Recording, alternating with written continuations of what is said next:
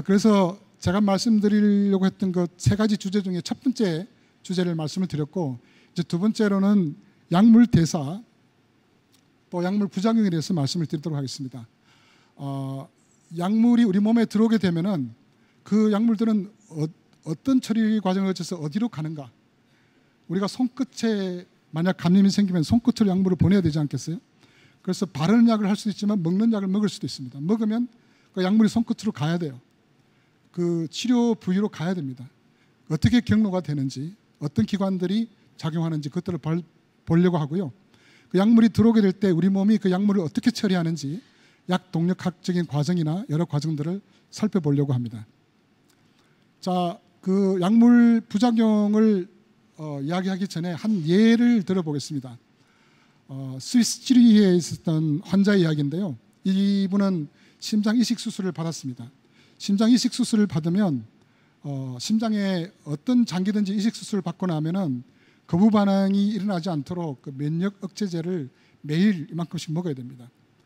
근데 이 환자가 잘 지내다가 한 1, 년이 지난 시점에 어, 굉장히 심장에 문제가 생겼다고 병원에 이제 들어왔어요.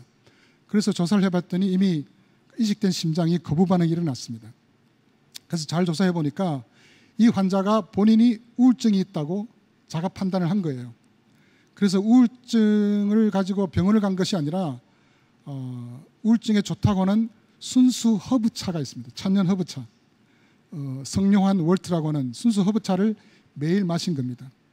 근데 이 순수 허브차는 허브차가 아니라 사실은 독이에요. 우리가 먹는 모든 물질은 약이거나 독이거나 양적 성질을 다 가지고 있습니다. 이 허브차는 우리 몸에 들어오게 되면은 간에서 그 시토크롬 3A라고 하는 효소를 더 증가시키는 역할을 하게 됩니다. 근데 시토크림, 시토크롬 3A라는 효소는 이 이식 환자가 먹어야 되는 면역 억제제, 이 경우에 이제 사이클로스포린이라고 하는 약인데요. 그 약을 파괴시키는 역할을 하게 됩니다. 그러니까 이제 사이클로스포린이 매일 들어오는 이 허브차로 인해서 유발되는 효소 때문에 다 깨진 거예요. 그러니까 심장의 거부 반응이 당연히 일어나게 되겠죠. 그래서 이제 이 환자는 다시는 의사의 그 허락 없이는 허브차를 마시지 않기로 약속을 하고 다시 새로운 심장을 이식받았다는 이야기가 있습니다. 자, 이와 같이 우리 몸에 들어오는 외부 물질들은 다 우리 몸에서 어떤 생체 물질들하고 상호작용을 하게 됩니다. 그래서 외부에서는 분자량이 큰 유기체들은 항체로 인식해서 항원 항체 반응으로 이제 어, 항원으로 인식해서 어, 밖으로 끄집어내게 되고요.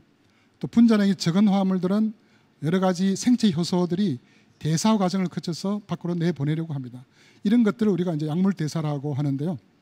약물 대사를 처리하는 우리 몸의 그 장기를 보면 대부분의 약물 대사는 이 간에서 이루어지게 됩니다. 그래서 소화기를 통해서 들어온 그 약물이 어, 위장벽을 통해서 간으로 한 7, 80% 이상이 간으로 가서요.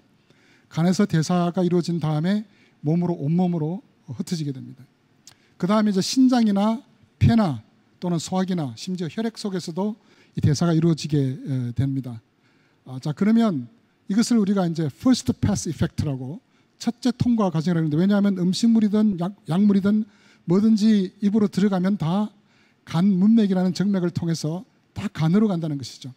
간에서 처리한 다음에 대정맥을 통해서 심장으로 가서 온몸에다가 내보내는 역할을 하게 됩니다.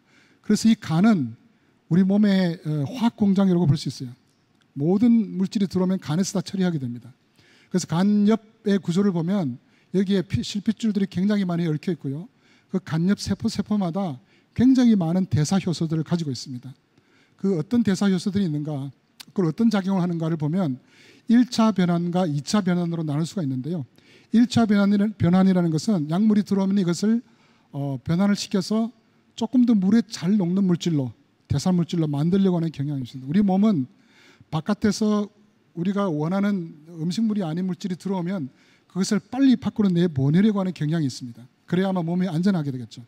그래서 그것을 물에 잘 녹는 성분으로 만들어서 소변으로 내보내든지 그게 안 되면 어, 대변으로 내보내든지 둘 중에 하나로 해서 하여튼 내보내야 되는데 1차 변화는 가능하면 극성물질로 만들어서 소변으로 내보내는 그런 과정이 되겠고요. 그 다음에 이 대사물질이나 또는 약물 자체가 2차 변환을 할 수도 있습니다. 2차 변환이라는 것은 우리 체내에 있는 물질이 이 약물에 접합이 되는 겁니다. 그걸 이제 conjugation 반응이라고 하는데요. 체내에 있는 물질, 예를 들면 글루크론산 같은 것들이 약물하고 이렇게 접합이 돼 가지고 안정한 접합체를 만들면 이것이 물에 잘 녹는 것이 되면 다시 신장으로 가서 소변으로 빠져나가고 아니면은 담도를 통해서 소화기를 통해서 대변으로 빠져나가게 됩니다. 자, 그래서 약물 대사의 예를 하나 보려고 하는데요. 그 테르페나딘이라고 하는 약물이 있는데 이것은 알레르기 치료제로 개발이 됐습니다.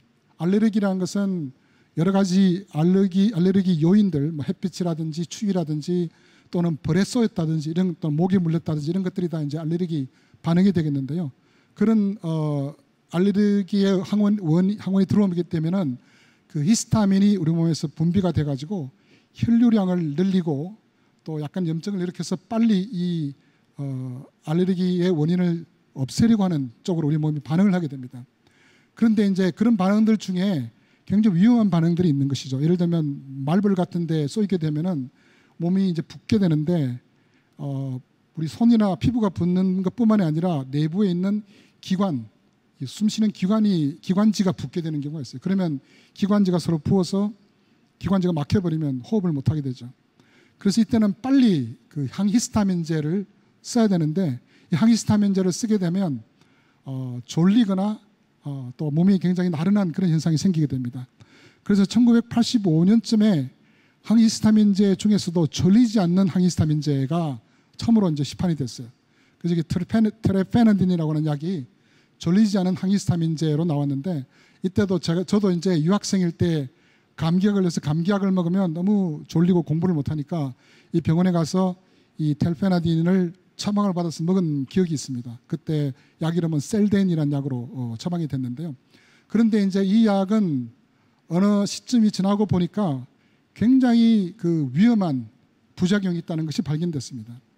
그래서 항진균제와 같이 병용 투여했을 때는 어, 부정맥을 일으켜서 심각한 경우에는 심정지, 사망까지 이르게 되는 그런 부작용이 생겼어요.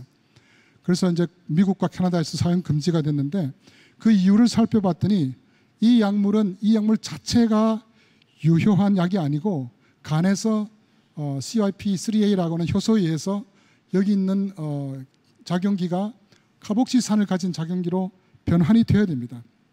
변환이 되면 이 약물이 이제 그 항히스타민제 약 역할을 하는 약물인데 이 변환을 시키는 효소가 CYP3A라는 효소인데 이 효소는 항진균제 여러분들이 아마 무좀약 치료제라든지 이런 뭐 키토코나졸이라든지 플루코나졸이라든지 이런 졸자로 끝나는 항진균제하고 같이 투약하게 되면은 이런 항진균제들은 이 CYP3A를 완전히 차단시키는 역할을 해요.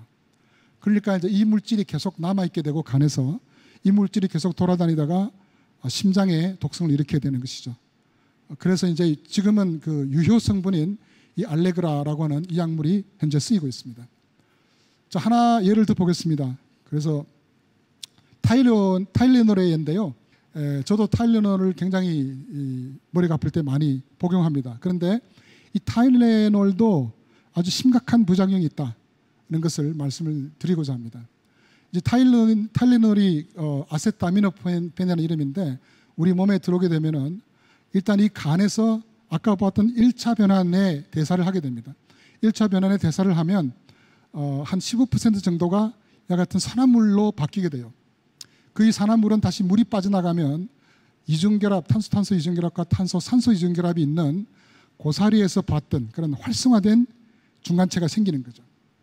근데 다행히 이때는 이제 바로 옆에 DNA보다 먼저 우리 간에 글루타치온이라고 하는 그 청소부가 있습니다. 이 글루타치온은 외부에서 들어오는 이런 활성화된 물질들을 다 청소하는 역할을 해요.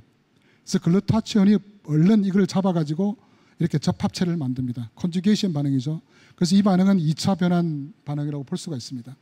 그렇게 해서 아주 안정한 글루타치온 접합체를 만들어서 이제 밖으로 빠져나가게 되는데 문제는 이 타일레놀 한 분자가 글루타치온 한 분자를 소요하는 것이죠. 그래서 만약에 이 타일레놀을 과량으로 복용하게 되면은 간에 있는 글루타치온을 전부 다 다 소진하게 됩니다. 자 그렇게 되면은 우리가 먹는 음식물이나 다른 약물에서 생기는 이런 활성화된 중간체를 처리할 수 있는 청소부가 없어지는 거예요. 그러면 이제 간 독성이 생겨서 간이 결국에는 어, 간부전으로 가게 되는 것입니다. 또 이제 임상적으로 보면은 알코올 중독자들, 술을 많이 마시는 분들이 특별히 이 아- 아세토아미노펜 독성을 굉장히 많이 보이고 간 부전이 굉장히 많다는 그런 보고가 있습니다. 그 이유를 살펴보니까 이 알코올을 많이 이제 어, 마시게 되면은 간에서 그 알코올을 대사시키기 위해서 알코올은 어, 들어오게 되면은 아세트알데하이드, 아세티, 아세트산으로 대사가 되는데 다 산화 과정입니다. 산화시키는 효소들을 많이 이제 배출을 해야 되는데 어, 산화시키는 효소들을 유발하면 이 산화 효소들이 아세트아미노펜을 또 역시 산화를 시키는 거예요.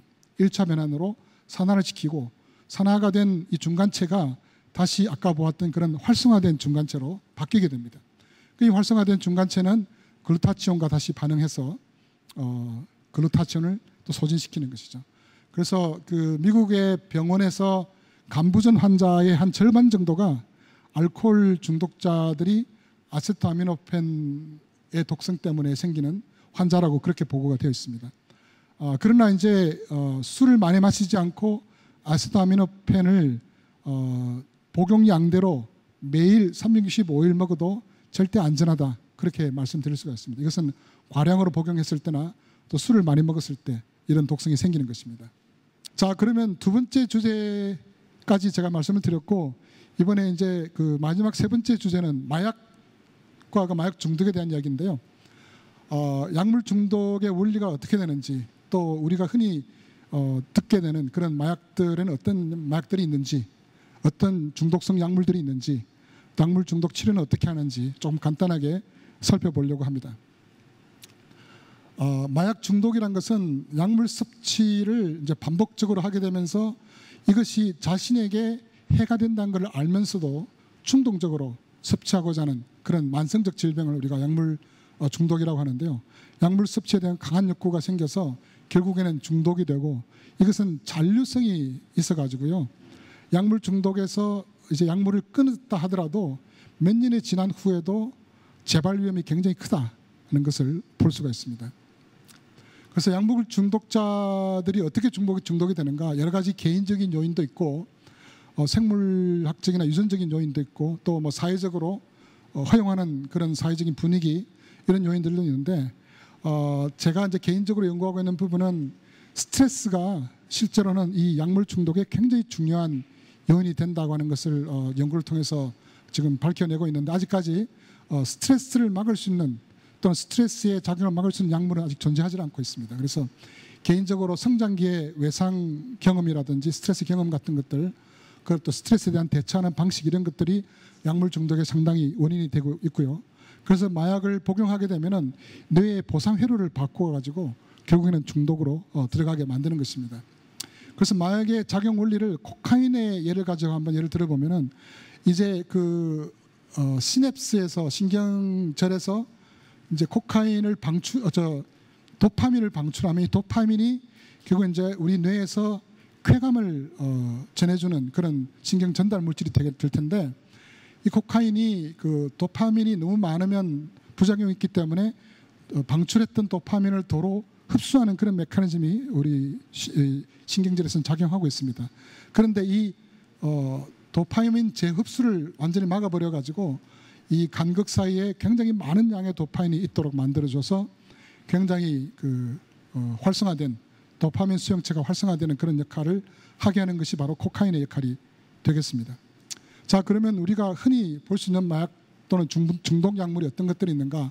알코올도 니코틴도 중독성이 있죠. 그리고 메스암페타민 이건 좀 이따가 제가 다시 한번 설명을 드리겠습니다.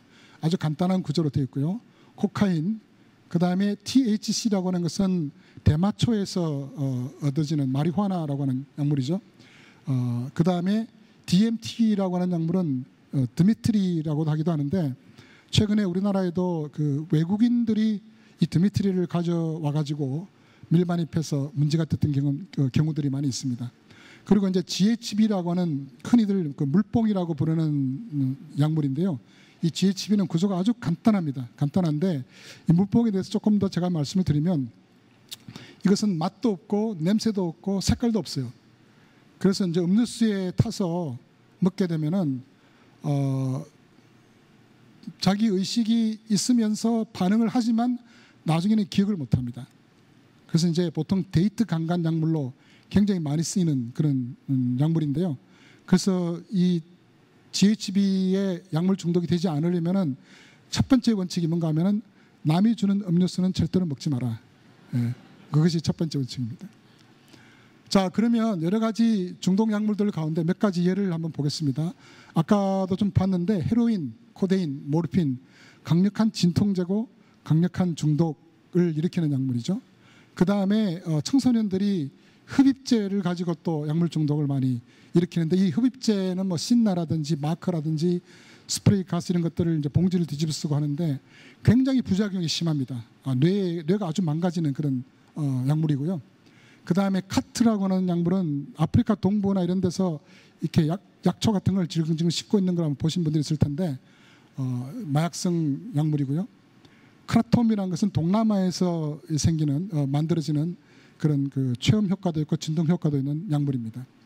자, 그다음에 LSD가 아주 옛날부터 많이 쓰이던 약물인데요. 이런 맥각 곰팡이에서 추출되는 물질이고 어, 환각을 유발하는데 이 LSD는 최근에 또다시 큰 문제가 되고 있는데 마이크로 투약 문제가 있습니다. 여기 보, 이제 여기 그림에 보시는 것처럼 아주 미량만 투여하는 사람들이 굉장히 많이 생겼어요. 그래서 원래 환각을 일으키는 양의 10분의 1 내지는 100분의 1 정도만 투약을 하면 그 투약한 사람들의 이야기를 들어보면 어, 일할 때 능률이 100배 나아진다는 거예요. 기억력도 엄청 좋아지고 운동도 잘하게 되고 뭐 사업을 하더라도 사업이 잘 되고 그래서 아마 여러분들이 그 브래들리 쿠프라는 배우가 주연한 리미틀리스라는 영화를 보신 분들이 있으실 텐데 이 Limitless 영화의 그 브래들리 쿠퍼가 보면은 새롭게 나온 그 어, 실험 신약 실험약을 가지고 능력이 굉장히 향상이 되죠. 그래서 뭐 주식도 엄청나게 잘 어, 불리고 뭐 금방 중국어도 금방 배우고 뭐 그런 식으로 했다가 결국 이제 약물에 중독이 돼 가지고 나중에 어려움을 겪는 그런 어, 영화가 되겠습니다. 이제 LSD는 지금 그 마이크로 투약 문제인데 어, 환각 작용이 없다고 하지만 사실은 이것이 이제 마약 중독으로 가는 통로를 열어주는 그런 일이 되기 때문에 굉장히 위험한 일이 된다 그렇게 말씀할 수 드릴 수 있을 것 같습니다.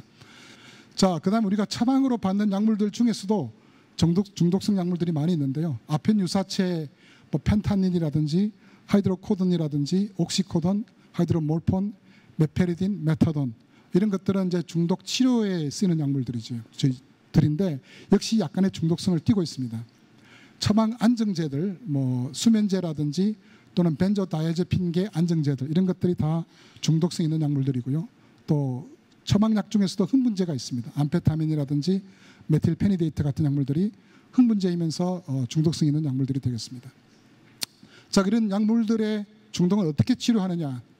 어, 충동적 약물 사용을 금지하는 것이 중독 치료의 목표가 되는데 실제로 약물을 그냥 어, 디톡스라 그러죠. 딱 끊고 이제부터 약을 안 하겠다. 딱 끊으면 그 끊은 사람들의 90%는 다시 약물로 돌아갑니다. 그만큼 그 약물 중독이 어려운 거죠. 그래서 다양한 형태의 치료법과 치료 기간이 소요가 되고요. 반복적인 모니터링이 필요하고 이런 그 오피오이드나 담배나 알코올이나 코카인 같은 경우에 이 세 가지 경우는 어, 치료제 약물들이 존재하는데 물론 완벽한 약물들이 아닙니다. 아까도 말씀드렸듯이 중독성을 조금씩 줄여 나가는 그런 약물들이 되겠고요.